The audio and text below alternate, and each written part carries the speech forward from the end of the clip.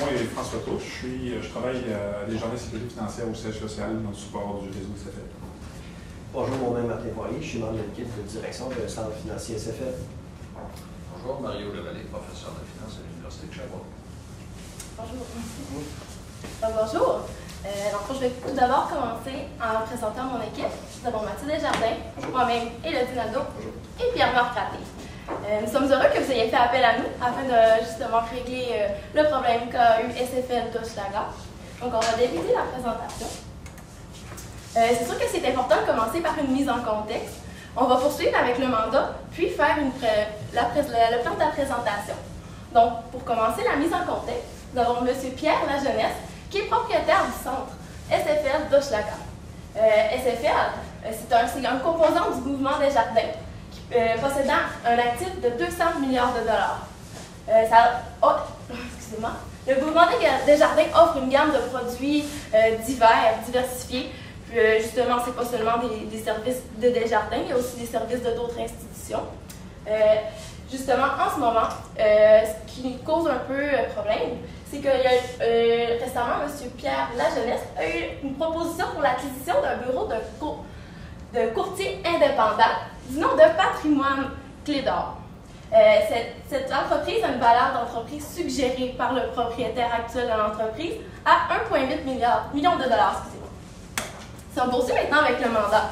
Euh, notre mandat d'aujourd'hui, c'est justement de fournir une recommandation à M. La, jeunesse afin de relancer la croissance euh, de, de SFL d'Hochelaga parce que justement, euh, on a remarqué qu'il y a eu une légère diminution récemment. Euh, c'est pourquoi que on a deux choix. Soit qu'on y va par l'acquisition de patrimoine clé d'or, comme je vous ai mentionné précédemment, ou on y va plutôt par un projet de croissance interne qu'on va vous expliquer.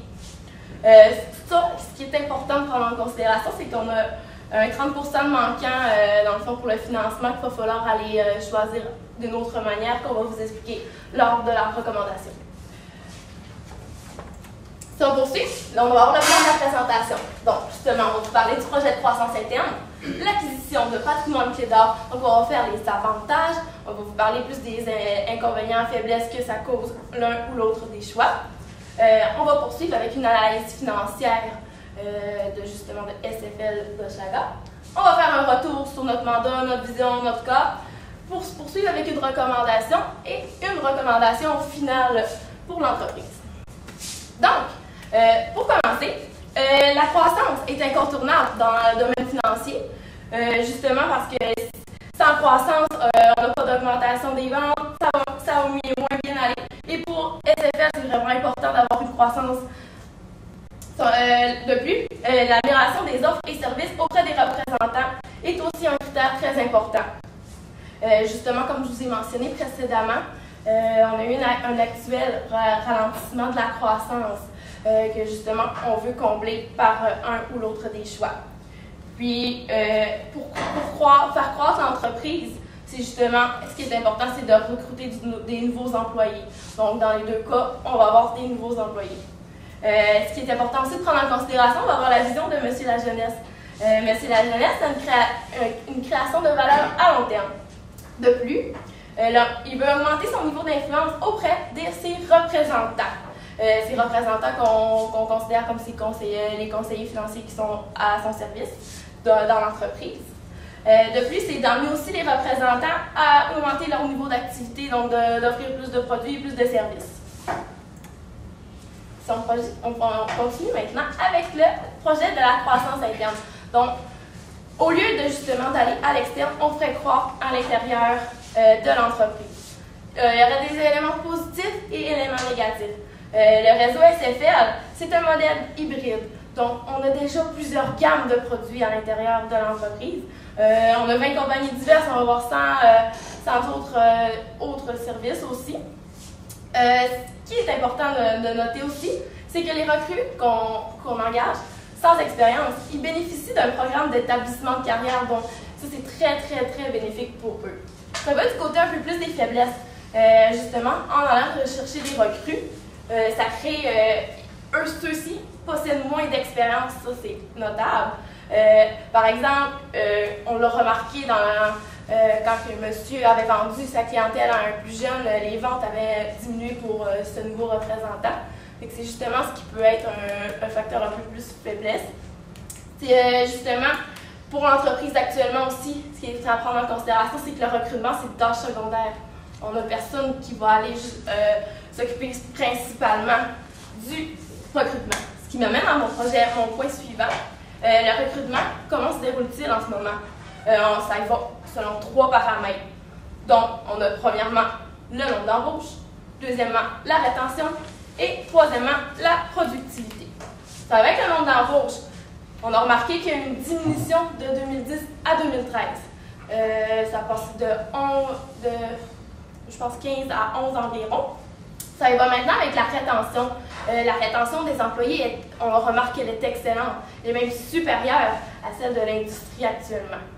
La productivité, quant à elle, euh, on, la, on, la, considère avec le crédit de productivité CP. Euh, c'est légèrement, justement, inférieur à celle du réseau. Donc, on remarque deux points négatifs lors du recrutement. justement, une solution qui pourrait être envisageable, ce serait l'ajout d'un directeur de recrutement au coût de 100 000 par an on poursuit maintenant avec euh, l'acquisition de, patrimoine pied d'or. Euh, dans le fond, l'acquisition de cette entreprise permettrait justement à SFL de Schlager de pouvoir acquérir des employés déjà formés, euh, qui ont déjà des connaissances accrues dans le domaine. Comme on, remarque les 12 employés, excluant M. Lafortune, le propriétaire actuel de l'entreprise, que justement, ça serait un transfert d'entreprise. Euh, donc, on aurait justement une acquisition rapide d'employés qualifiés. Euh, au lieu de justement d'aller chercher à, l'externe, puis nous-mêmes d'aller recruter, former, euh, qui entraînent des coûts, ça nous permet d'avoir des employés qui ont déjà des connaissances dans le domaine. justement, ces nouveaux employés, on remarque que leur âge est situé sous la cinquantaine. ça nous permet d'avoir des employés jeunes, dynamiques, si on pense un peu plus à long terme, qu'on va pouvoir garder longtemps, puis que justement, possède environ, on a fait une moyenne de 8 ans d'années d'expérience. C'est bon maintenant avec les faiblesses. Euh, c'est sûr qu'il faut prendre en considération qu'on va avoir un loyer euh, que l'entreprise possède encore pour 6 ans au coût de 90 000 C'est un coût à prendre en considération parce que justement, euh, c'est ça de plus si on la l'entreprise. de plus, en prenant les deux entreprises, on fait un mélange des visions parce qu'on va avoir la, vision de SFL, on va avoir aussi la, vision de, patrimoine, euh, de patrimoine mélangé. Donc, ça peut causer des frictions. Il euh, faut, prendre en considération, mais c'est sûr que les deux, dans les deux cas, euh, les deux entreprises possèdent de, l'expérience, fait sont bons dans le domaine. fait que je, ne croirais pas, en fait, on croit pas que ça causerait vraiment de problème, mais c'est sûr que c'est un critère à prendre en considération. Euh, maintenant, je vais céder la parole à mon collègue Pierre-Marc. Euh, ben, pour ce qui est de l'analyse financière, puis ça va aussi euh, de, toucher à beaucoup de chiffres, c'est que pour la croissance annuelle, c'est qu'on le, réseau SFN lui-même, qui il y a une croissance annuelle sur 5 ans de 9,5 mais euh, celle-là de SFL on, on, a mentionné au, tout début que justement il y avait un ralentissement au niveau de la croissance, mais là, comme il est expliqué ici, c'est entre les, dernières années. Euh, on voit qu'il y a une bonne croissance explosive, mais c'est juste vraiment dans la dernière année que le résultat était négatif. Donc, on peut comme croire qu'avec la, moyenne annuelle sur 5 ans, qu'est-ce que cela ça représente, que c'est pas vraiment euh, une donnée qui est, euh, qui, est très négative, puisqu'on voit que même en, moyenne, elle, se situe 3 de plus que celle-là qui est là.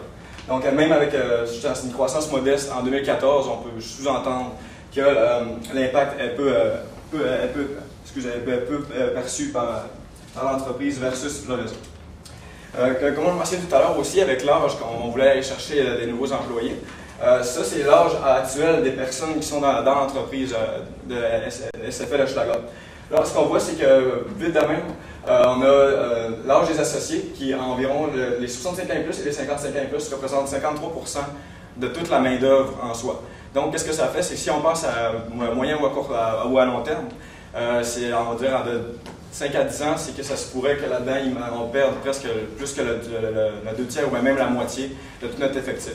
Donc, ça, ça serait quelque chose qui peut pencher en faveur de- d'aller chercher des, nouveaux employés parce que le, le roulement de personnel en soi euh, pourrait s'avérer très, très dangereux dans les prochaines années si on ne fait rien pour l'instant.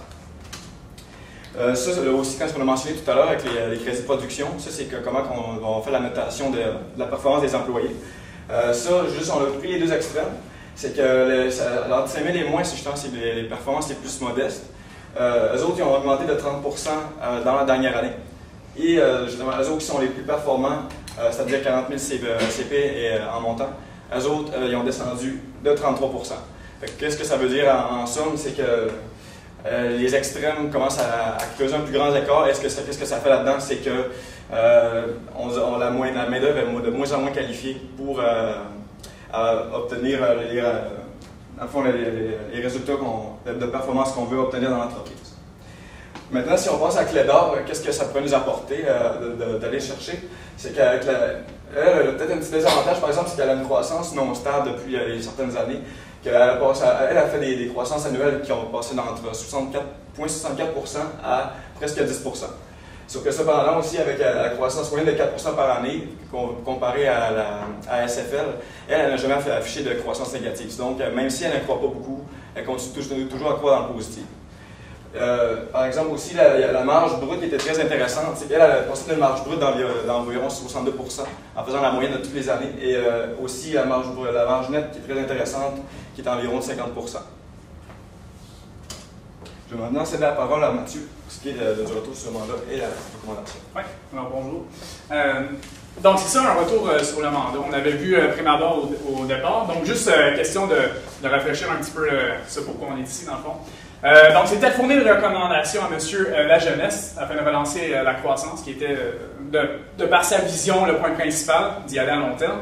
Euh, donc, c'est ce à quoi on, on a répondu, dans le fond, on va répondre. Euh, soit par l'acquisition du patrimoine, qui est la première euh, option, euh, ou la deuxième option qui serait en fait d'y aller avec le, le projet de croissance interne, soit d'employer bon, un directeur euh, de recrutement et puis euh, euh, d'y aller avec un recrutement interne, simplement. Donc, euh, c'est ça, euh, pour la vision, je pense qu'on peut passer, c'est simplement, euh, ben, je viens de dire, en fait, avec le long terme et la croissance est son point principal. Qu'est-ce qu'on va apporter avec ça?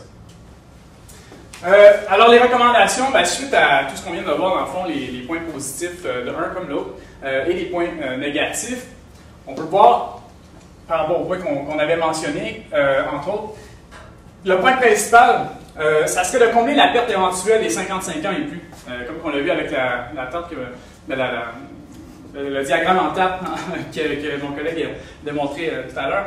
Euh, 53 bon, des associés partiraient d'ici euh, 5 à 10 ans, ce qui représente un des, plus gros dangers, du moins c'est ce qu'on on considère comme étant qu'il faut se préoccuper bon, de manière principale.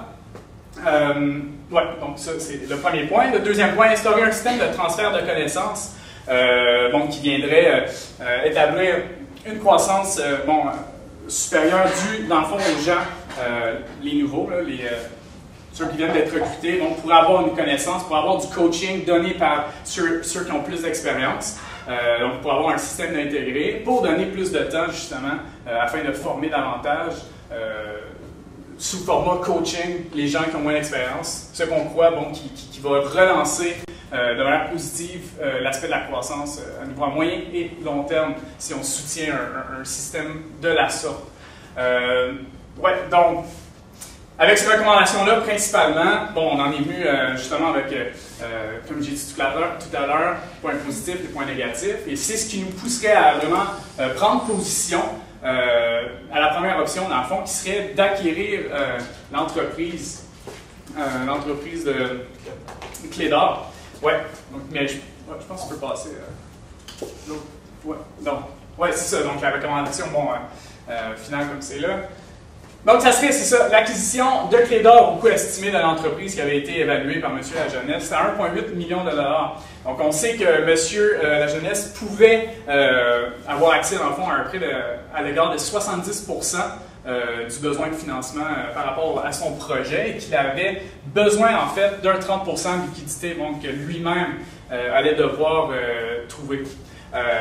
donc, l'emprunt s'est fait faire, dans le fond, par SFL qui a financé euh, bon, avec un prêt de 5,8% qui serait l'équivalent de 1,26 million de dollars, 70% du 1,8 million initial. Et on se rend compte, bon, euh, on doit combler le 540 000 euh, soit le 30% restant. Et le comment qu'on va faire ça, en regardant le, résultat net bon, de 2014 de SFL Hochelaga, on se rend compte bon, qu'on a 504 000 Bon, c'est ce qu'on dégage grossièrement. Donc, avec ça, encore de manière grossière, on pourrait euh, libérer des, euh, des, fonds, en fait, aller payer la différence du 540 000, donc venir diminuer euh, ce qu'on devrait sur l'aspect global, pour finalement, bon, avoir un, c'est un, un, 36 000 donc, qui restait à combler. mais encore une fois, bon, c'est hypothétique.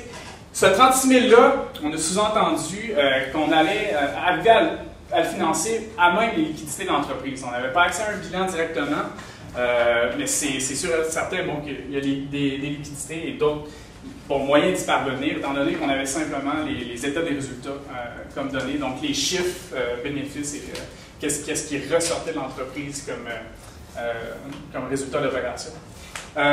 bref, en faisant cette, acquisition, on arrive, dans le fond, gagnant des deux côtés.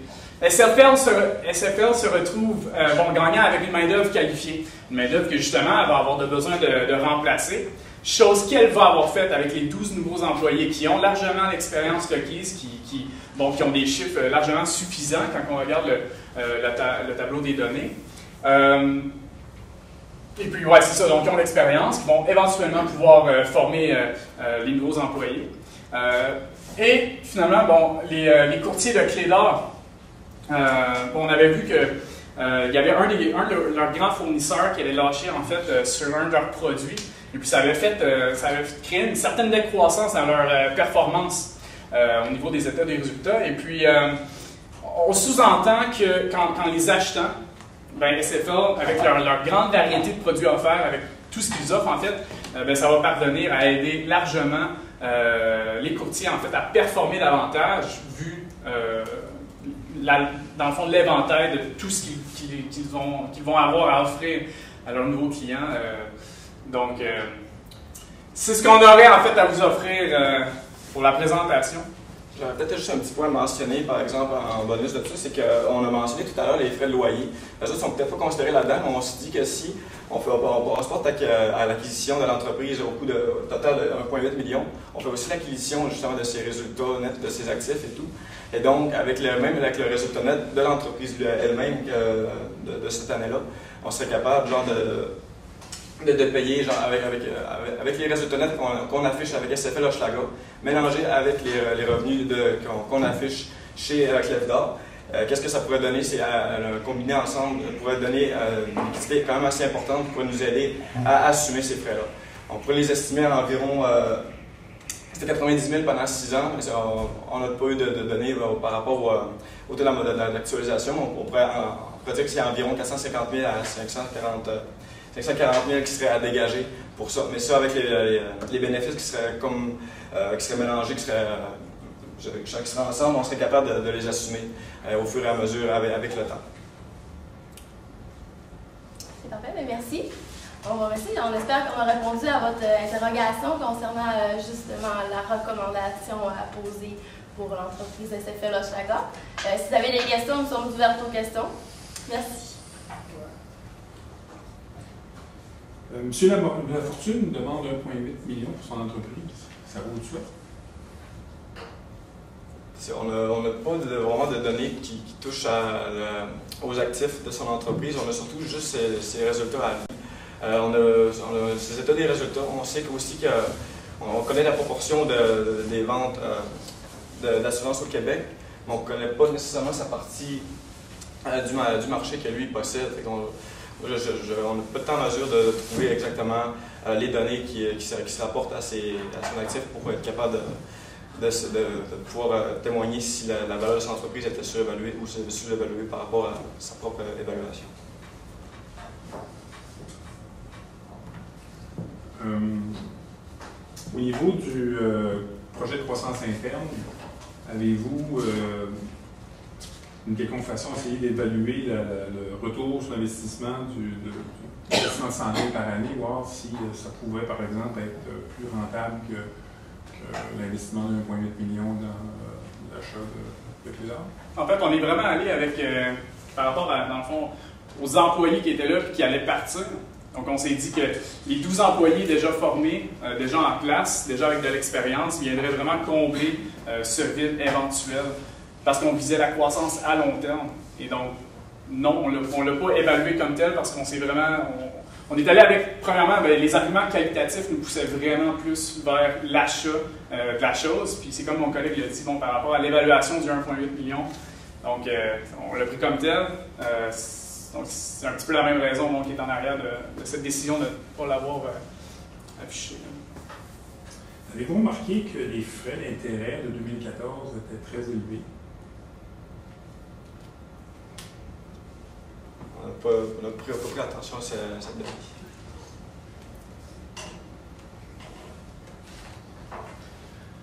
Dans le, cadre du questionnement stratégique sur la, baisse de croissance, ce qui, euh, ce qui vous était offert, c'était deux, euh,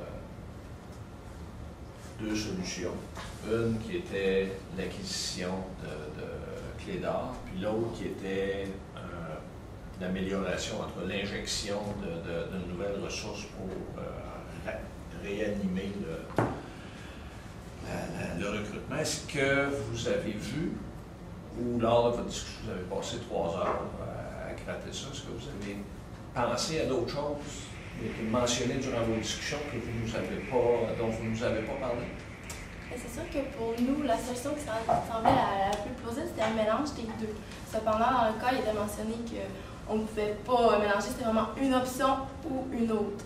Donc, on est vraiment allé avec l'option qui semblait la plus avantageuse parce que justement, on avait besoin de- d'employés de, plus. Euh, c'était vraiment la- le critère important parce qu'on voulait avoir une croissance. Euh, c'est sûr qu'une solution hybride aurait pu être intéressante, mais comme je viens de vous expliquer, il fallait pencher dans l'un bord ou l'autre de la balance. Vous avez d'autres choses à rajouter? ou? Le client n'a pas toujours raison. Donc, même s'il vous dit c'est un ou l'autre, vous auriez pu nous dire Ah, peut-être que c'est un mélange des deux. Peut-être. Je ne sais pas, là, c'est c'est la réalité, mais des fois, il faut sortir du. euh, Pas euh, pas d'autres. Merci. Merci. Merci. Merci.